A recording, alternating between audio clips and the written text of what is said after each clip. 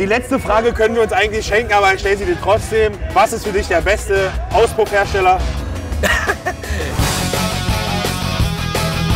Was geht ab, meine Flexer? Willkommen in dieser neuen YouTube-Folge. Heutige Frage, was ist die beste Auspuffanlage? Und ich frage mich, was ist das für eine?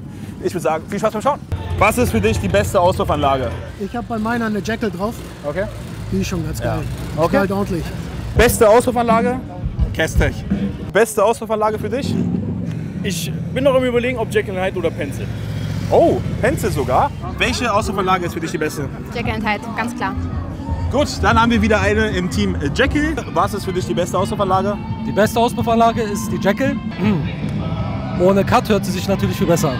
Was ist die beste Auspuffanlage? Jekyll und Hyde ist gut. Ja. Du sag einfach ruhig. Äh, Ja, doch. Ja, Jekyll, ich, ja, Jekyl. Finde ich gut. okay. Welche Auspuffanlage ist für dich die beste?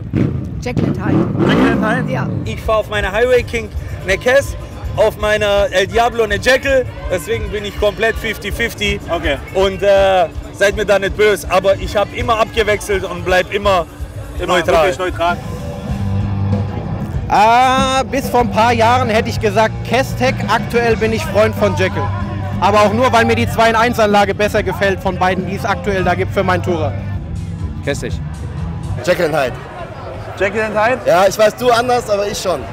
Die letzte Frage können wir uns eigentlich schenken, aber ich stelle sie dir trotzdem. Was ist für dich der beste Auspuffhersteller? Ja, es gibt ja nur Kessich, oder? Jekyll halt. Ja, den ich halt drauf hab, ne? Der wäre? Ja, Jekyll halt. Okay. Okay. Also ich, hab- ich merke eine Tendenz. So Freunde, wenn euch das Video gefallen hat, lasst ein Like da, abonniert den Kanal, checkt gerne Dan und auch Maso aus und checkt auch deren Instagram-Profile aus, auch mein gerne. Und ich würde sagen, wir sehen uns beim nächsten Mal wieder und teilen nicht vergessen.